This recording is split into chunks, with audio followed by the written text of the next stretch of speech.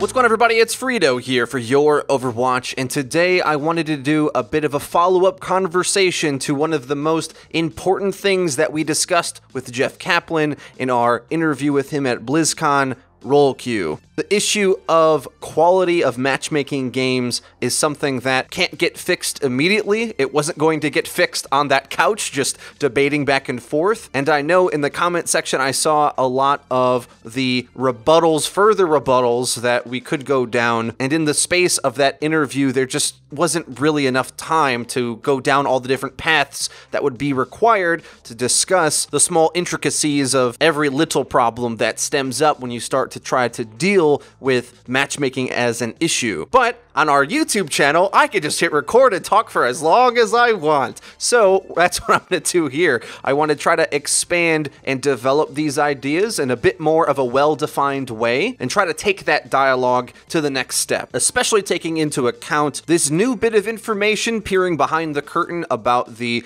worries that they have about a role queue as described by Jeff Kaplan and Aaron Keller, namely the idea that it would inherently force you into playing a certain character or role, maybe perhaps when you didn't want to. I have a rebuttal for that, but also this idea of forcing a meta. I think I also have counterpoints to that as well. Required reading for keeping up with the entire storyline of things we're going to be discussing here would be the two interviews we did with Jake. The second follow up one, though, is even more important as it gets to the heart of what we think is lowering the quality of matches overall, and that is because we're in a system that rewards specialization, more players specialize anyway in order to game that system, but aside from that, most players' skill sets are limited, no matter what their rank is. And because of this, when you get a random assortment of teammates, a big percentage of your success as a team depends on whether you have the required pieces and skill sets that can actually perform well. And because we're constantly dealing with this pressure and this internal cultural conflict, tensions are always high, and a lot higher than I think they need to be, because there isn't this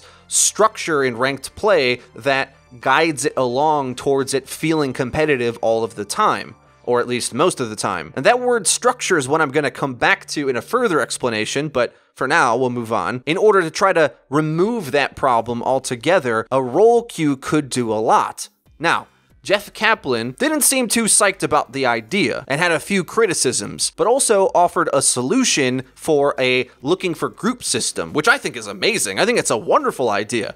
With one major problem, though, we don't have a system that you really can group up in. You can if you want to have the best quality matches, but it isn't a legitimate way to rank up, at least not to the higher ranks. If everyone grouped, yes, the group find would work because as long as if you're in a three, it can simply just match another equally skilled three against you. It doesn't have to play these games with like trying to account for the stack factor. But because everyone knows it's hard to group up, less people do it. It goes the other way. It's a disincentive. So if you're in a six, you're going to be like the only six at Masters or something, making for this to be doubly hard. So perhaps that could be a short term solution just to try to inject some interest into the idea of grouping up. But as soon as those group numbers start to dwindle, we're just going to be back to the same issue we have now where grouping is just not really an option to successfully climb the ladder, which is what most players want to do. Now, because of that, I think that's why the role preference queue is so important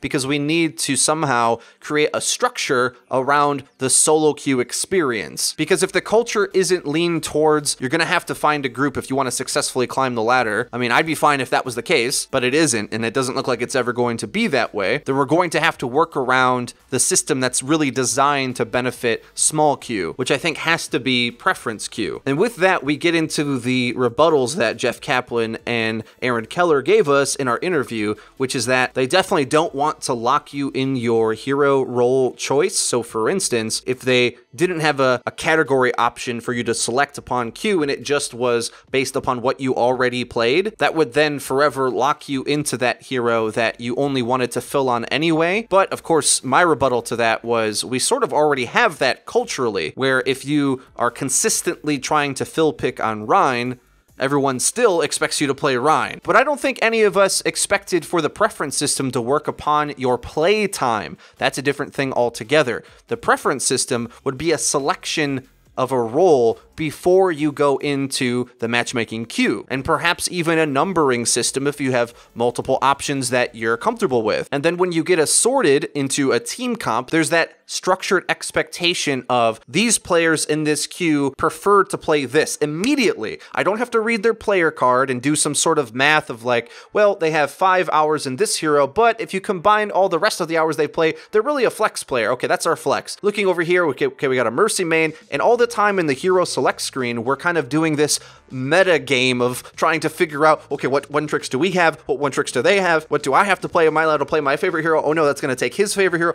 All of that can just get removed immediately if we're filled into lanes or buckets or categories or whatever you want to call them from the start. And when you plop into the line of player icons at the bottom, it indicates what people queued for immediately. You don't have to read their player card. You don't have to sort of guess and infer what they're good at. They're outwardly saying, I want to play this role. And that alone, we I think, fixes a ton of matchmaking problems immediately. You don't have to do this restriction idea that they're saying where certain heroes would be blocked off. No, let everybody play whatever they want. They could quote unquote abuse this system, sure, but even if they could abuse it, the vast majority of time, I think this is just going to work. Now, let me try to give the motions of how this can work. The structure of this I've heard all over the place. I've seen it in Reddit threads, forums, comment sections, YouTube videos. There should be a fill slash flex position. That you can just queue for outright, and I would be all over that. That means you play whatever hero, including hybrids. Very important. I think all hybrids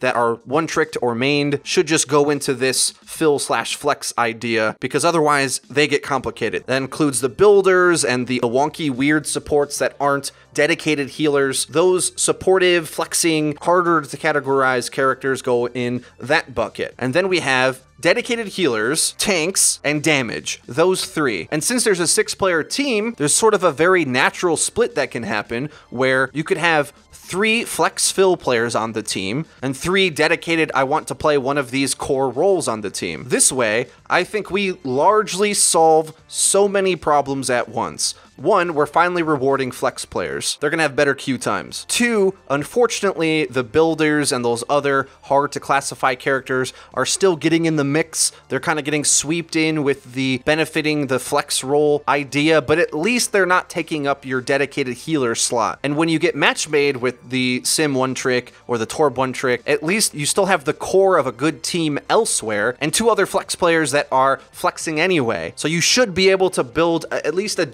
decent comp with that, even in those worst case scenarios. And even with them, I don't think they mathematically would come up as often as they do now because there's so many bad matchups now. There's so many like too many DPS, too many healers, too many niche picks. So many of those things happen at once right now where they'd be limited in this categorized system. Would there be other problems too? What if you have a Roadhog one trick in your tank slot? Well, you'd like to think a big percentage of the time you can get a good main tank out of one of the flex players.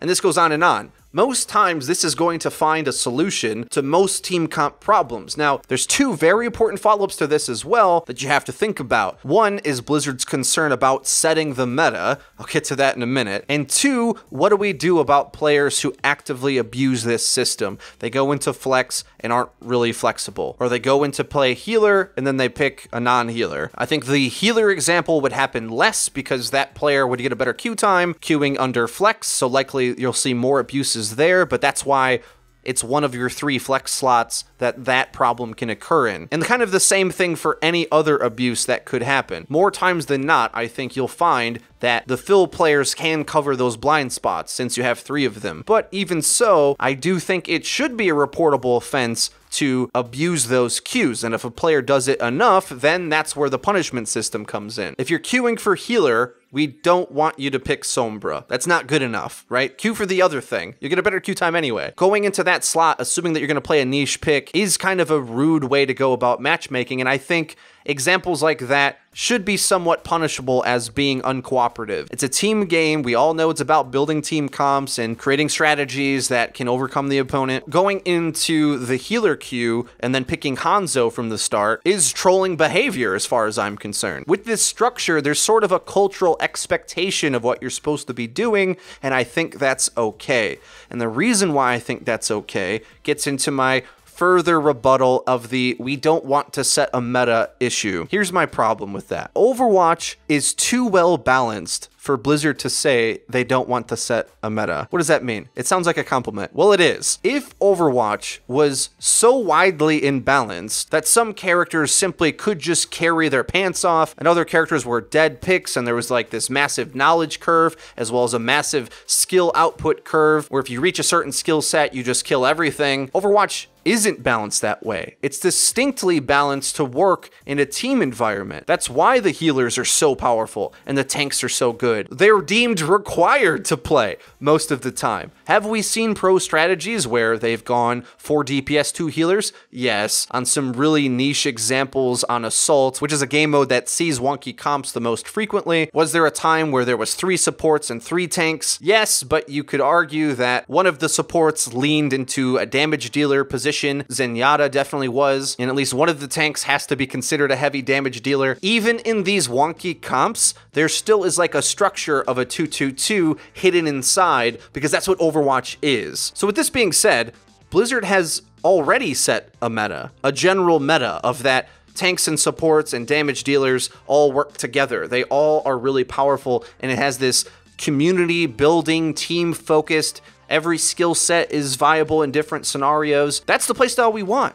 I think that's what every Overwatch player loves about the game. It's so inclusive to every style of play that any player can approach the game and have a meaningful impact on it from their position. And that philosophy at core has already developed a meta to exist. Did we want the three tank meta to be the only thing we could play? Well, no, it got patched out, right? Now, sometimes you can run three tank, and you could still run three tank in the preference role queue, by the way, as well as every other viable strategy I know of. But because Blizzard patched that down, obviously it didn't fit what they wanted the meta to be. You have to define the meta. They already have been defining the meta, and the meta is the most playable game, right? That's the philosophy of it. And us as a community, I think, have already responded with how we interact with this game. It's a push pull, right? Between the designers and how we come in and play the game at the various levels of play. It's been well defined. Overwatch has been out for quite some time now. We have a really good grip of what the game is. We're all still learning it and we're still learning new things, but the core principles are there. And what is there is, I think, one of the most sound and beautiful esport games ever. I truly mean that. Overwatch in motion, when the different strategies are being utilized to create different comps and the different styles of play are allowed to shine, that's wonderful. There might be small things we want to nudge here or there, small wrinkles or corners that we want to shave down, but the form of Overwatch is basically perfect in the center of it. And it'll keep getting molded over time, new bits will add in, but overall, the core of the game is great. We just want to play the core of the game more often because right now, when you get a random assortment of elements, a big percentage of the time we're not playing the game. And here's the way I've thought to describe this it's like another game that's shown that it's lasted through a long time, a sport that I grew up playing, not very well, of course, but I had fun playing as a kid basketball. In a lot of communities across where I'm from, the United States, basketball is sort of the thing that everybody does. And there's never a basketball hoop that's too far away to make the game inaccessible to you. Everybody can play. Everybody can go to the playground and join in. To me, Overwatch is like that in video game form. And when you go down to the local park, whoever brought the best basketball, that's the one you use, and teams get assorted, and you just start playing and the language of the game is well known. Everybody knows what you're supposed to be doing, what you're not allowed to do, and if you don't, you're going to learn quickly because people are going to teach you, and the culture of that naturally itself out. But I have an analogy to how Overwatch gets played because I don't think it has that structure to define what we all should be doing. The Overwatch comparison to me is that instead of everyone playing around one ball, playing the game, instead it's like if every player wanted to play with their ball that they brought. And they're all different shapes and colors and sizes, and it's really hard to track the actual game going on. Hey, I want to play with this ball. No, you want to play with that ball. There's disagreements, and two kids are in the corner fighting over one of the balls. I brought this. No, I brought it. And th- those squabbles and that sort of extra metagame on top of that, I think kind of feels and illustrates what matchmaking can feel like for a lot of us. Kind of a mess. And without that structure to say, no, we're going to define the metagame of basketball, saying that there's going to be one ball, everyone play around that one, and we all just assume that that's the case because that's what all the games do, that's what all the pros do, that's what everyone else does. Let's just do that. It makes the most sense for the game. Let's all agree that that's how basketball should be played. I think the same goes for Overwatch with this leaning towards a role queue system. I know it's going to require Blizzard to, quote, set the meta in a way, but I think it's obvious to most of us that that already is the case. The meta has already been set, and it's great. The game is great. We just want to play the game, right? We don't want to play the chase around all the other balls and problems that you could possibly deal with on the court. I hope that makes sense. And if you're more of a football or soccer for us here guy, you can translate it to that as well. I'm sure it makes just as much sense in that analogy, but that's the point I want to get to. Whether it is this three flex, one of each category role preference queue, or something else, I think Blizzard has to come down and set something for us to all follow as a community. I personally think that idea we mostly all agree with anyway, so if it was instituted immediately, I don't think there'd be major complaints. But